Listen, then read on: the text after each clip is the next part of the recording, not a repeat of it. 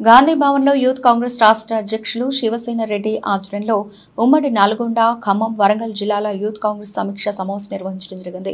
ఈ సందర్భంగా యూత్ కాంగ్రెస్ రాష్ట్ర అధ్యక్షులు శివసేన రెడ్డి మాట్లాడుతూ పార్లమెంట్ ఎన్నికల నేపథ్యంలో ఉమ్మడి నల్గొండ ఖమ్మం వరంగల్ జిల్లాల యువజన కాంగ్రెస్ పనితీరుపై సమీక్ష నిర్వహించిన శివసేన రెడ్డి ఉమ్మడి నల్గొండ ఖమ్మం వరంగల్ జిల్లాల ఎమ్మెల్సీ ఎన్నికల యువజన కాంగ్రెస్ కార్యాచరణపై చేర్పించడం జరిగింది. అలాగే ఉమ్మడి నల్గొండ ఖమ్మం వరంగల్ జిల్లాల కాంగ్రెస్ పార్టీ ఎమ్మెల్సీ అభ్యర్థి తీన్మార్ మల్లన్న గెలుపుకు కృషి చేయవలసిందిగా యూత్ కాంగ్రెస్ శ్రేణులను కోరిన శివసేన రెడ్డి.